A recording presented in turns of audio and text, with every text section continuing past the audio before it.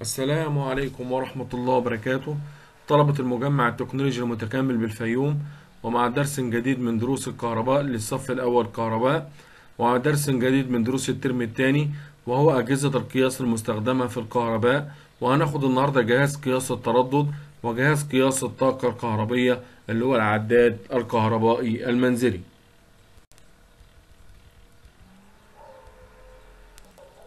ما هو التردد؟ هو عدد الدورات أو الذبذبات أو الموجات الكاملة في كل ثانية. هو عدد الدورات أو الذبذبات أو الموجات الكاملة في كل ثانية ويقاس بالهرتز. واحد هرتز بيساوي موجة كاملة أو دورة كاملة أو أو ذبذبة كاملة في الثانية الواحدة. ادي التردد اهو زي ما انت ما شايف ال sine wave المرسوم قدامك ده بي بي على جهاز ال oscilloscope بيحدد معايا التردد الموجود واشكاله. جهاز قياس التردد قدامك اهو جهاز قياس التردد بمؤشر اللي هو ال analog. التردد هو قياس الأحداث المتكررة بالنسبة للوقت. هو قياس الأحداث المتكررة بالنسبة للوقت. وحدة قياسه الهرتز نسبة لاسم العالم الألماني. طيب الذبذبة في مصر أو التردد في مصر كام؟ في مصر 50 هرتز وبعض دول العالم يعني والبعض التاني من دول العالم زي السعودية وأمريكا 60 هرتز. الجهد الكهربي طبعا زي ما إحنا عارفين إن في شحنات كهربية في منها موجبة الشحنة وفي منها سالبة الشحنة وعارفين إن الاثنين إن كانوا متشابهين. يتفرقا يتفرقا أو يتنافرا يتنافرا أو يتفرقا إذا الأقطاب المتشابهة موجب موجب سالب سالب موجب موجب سالب سالب تتنافر. أما المختلفة موجب سالب سالب موجب تتجاذب. قوة التجاذب وقوة التنافر دي هو ما يعبر عنها بالإيه؟ بالفولت الكهربي أو الجهد الكهربي. المجال الكهربي. المجال الكهربي هو هو نسبة للجهد الكهربي. الفرق ما بين الاثنين هو يتعامل مع قوة الجذب والتنافر. الفرق ما بين الاثنين إن المجال الكهربي قوة الجاذبية بين كتلتين بيتعامل مع الكتلة. إنما الطاقة الكهربية تعتمد على الأجسام المشحونة. طبعا قلنا إن الجاذبية أو التنافر والتجاذب التنافر والتجاذب بسبب اختلاف أو تشابه الإيه؟ الشحنات الكهربية.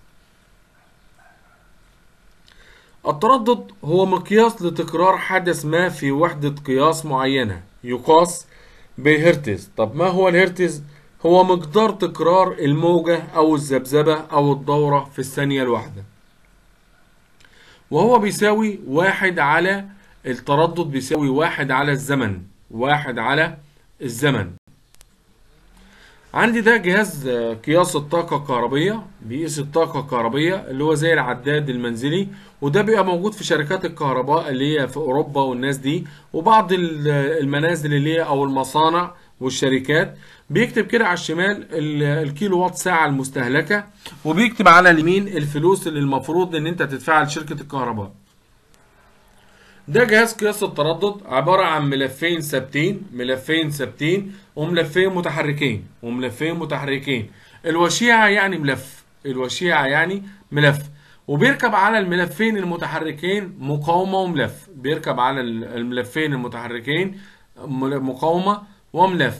وبيبقى الجنب الشمال عندي هو الدخل والجنب الشمال اليمين هو الحمل أو الإيه؟ أو الخارج بتاعي.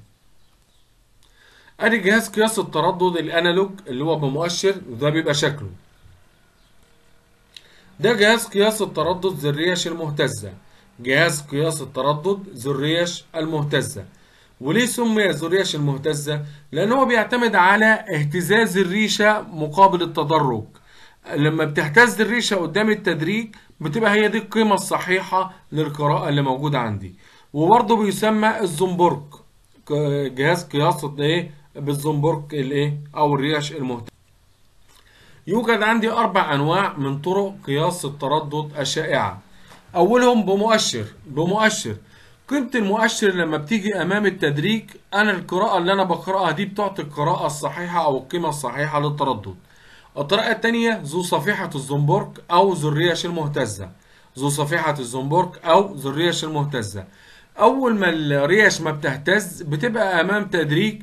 باخد القيمة المقاسة من أمام التدريج بتبقى هي دي القيمة الصحيحة للتردد الطريقة الثالثة هي الطريقة ال digital. ال digital يعني الطريقة الرقمية وبتظهر الأرقام قدامك على الشاشة دي وممكن لأي بني آدم أو إنسان غير فني يقدر إن هو يقيس القيمة اللي موجودة قدامه.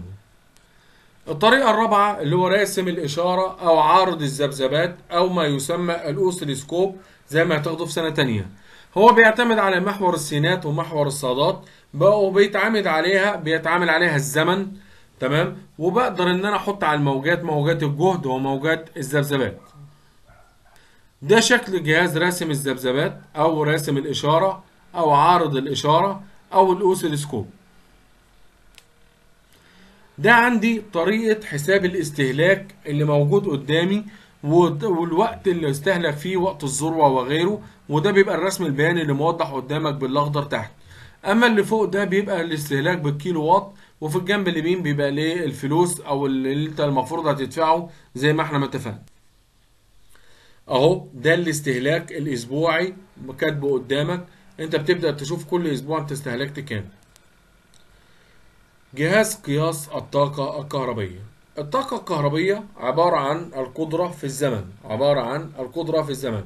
وأنا بقدر أقيس القدرة بجهازي الجهد والتيار بجهازي الجهد والأميتر أو التيار مع الزمن. طبعا اللي على اليمين قدامك ده على الشاشة هو جهاز الأوسلسكوب قلنا إن أنا أقدر أظبط عليه الجهد أو التردد أقدر أظبط عليه الجهد أو التردد. بوصله بالتوازي واللي بعديه ده اللي هو الأميتر بيوصل بالتوالي الطاقة الكهربية بتساوي القدرة في الزمن. الطاقة الكهربية بتساوي القدرة في الزمن. القدرة أو ال ال تقاس الطاقة الكهربية بالجول. يبقى الجول بيساوي الوات ثانية second أو ساعة. ده العداد الكهربي اللي قدامي بيقيس الطاقة الكهربية. طبعا العلامة اللي هي بالأحمر دي بتبقى على الاستهلاك اللي هو بالكيلو وات الاستهلاك اللي انت استهلكته بالكيلو وات ساعة. بالكيلو وات ساعة. طبعا الكيلو وات ساعة بيساوي 1000 واط ساعة. 1000 واط ساعة. حيث أن الكيلو بيساوي 1000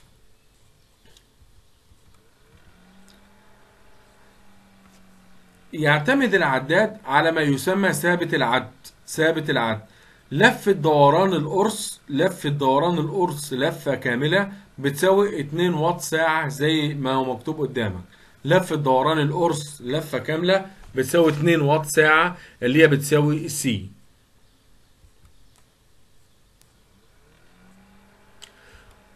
قلنا إن الطاقة الكهربية بتساوي القدرة في الزمن. زي ما إحنا ما قلنا بتساوي القدرة في الزمن. القدرة بتبقى بالوات ساعة القدرة بتبقى بالوات ساعة الطاقة بتبقى بالوات ساعة القدرة بالوات القدرة بالوات الزمن بالثانية. الزمن بالثانية. ما هي العلاقة ما بين الجول والوات ساعة؟ الوات ساعة بتساوي واحد اللي هو وات في الساعة.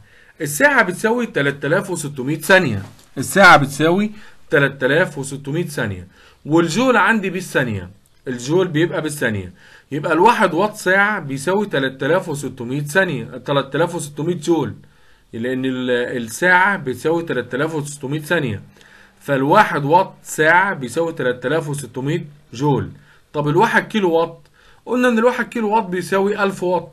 1000 واط في 3600 ثانية بيساوي 3 مليون و600 ألف جول. 3 مليون و600 ألف جول اللي هي بتساوي 3.6 من عشرة ميجا جول.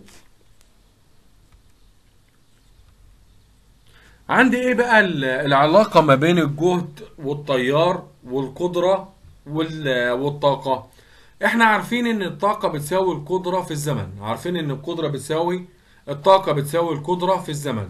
طيب وعارفين ان القدرة بتساوي الفولت في التيار الجهد في التيار. عارفين ان القدرة بتساوي الجهد في التيار. فاقدر اشيل القدرة واحط قيمتها فهلاقي ان الطاقة الكهربية بتساوي الجهد في التيار في الزمن. الجهد في التيار في الزمن. ده مرسوم لشقة أو توصيلة منزلية بها الأجهزة الكهربائية المستخدمة في المنزل وده كل حاجة مكتوب عليها الأمبير بتاعها. أنا بجمع الأمبيرات دي وبضربها في الجهد المنزلي الجهد المنزلي 230 فولت وبضربها في الزمن يديني الطاقة الكهربية العدادات الكهروميكانيكية. العداد الكهروميكانيكي لا يمكنه كشف أو تسجيل أي محاولة للعبث أو للسرقة. لو حصل تلاعب أو عبث ما بقدرش إن أنا أو سرقة ما بقدرش إن أنا أكشف المشكلة اللي موجودة. ولو حصل تلف في الجهاز أي تلف ما ما بيبانش قدامي إلا لو راح شركة الكهرباء. إنما العدادات الذكية بقى. التسعيرة بتبقى على أساس الوقت ما بيقعدش يحسب عدد اللفات اللي موجودة قدامي. بدي الاستهلاك الاستهلاك بتاعي ببينه للمشترك وللمؤسسة.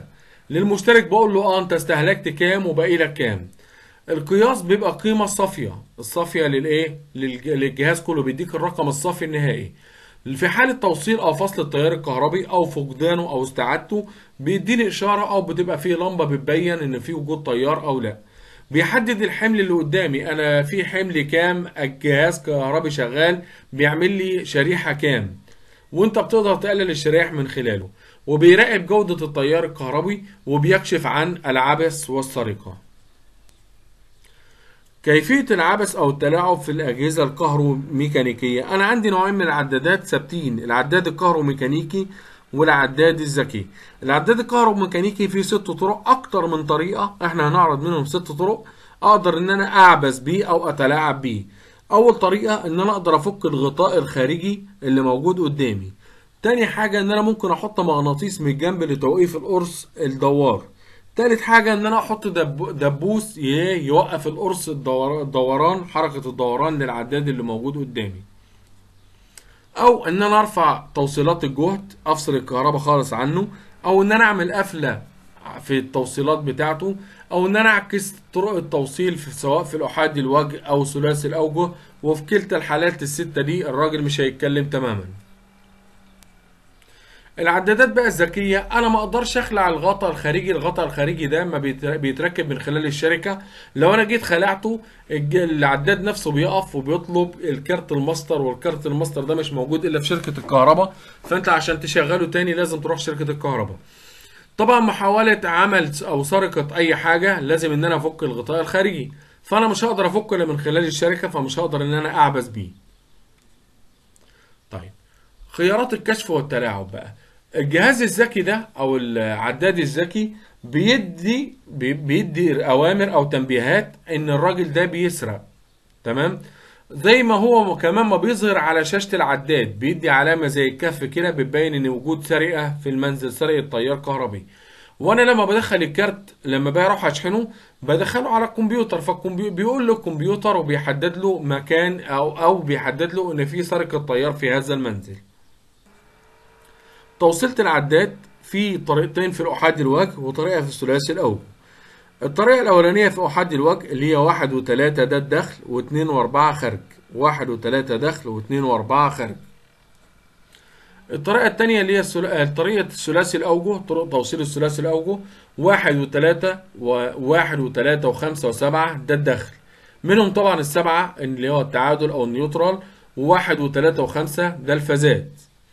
أما في الخارج فبيبقى 2 و4 و6 و8 2 و4 و6 و8 2 و4 و6 دي فازات وال8 بيبقى التعادل أو النيوترال الطريقة التانية في أحاد الوجه زي ما قلنا بيبقى واحد واتنين ده الدخل وتلاتة وأربعة الخارج توصيلة العداد الكهربي زي ما هو موجودة قدامك كده في التوصيلة المنزلية بيتركب العداد اهو وإحنا مركبين أميتر قدامك اهو بالتوالي عشان يقيس لي التيار ومركبين جهد بالتوازي عشان يقيس لي الايه؟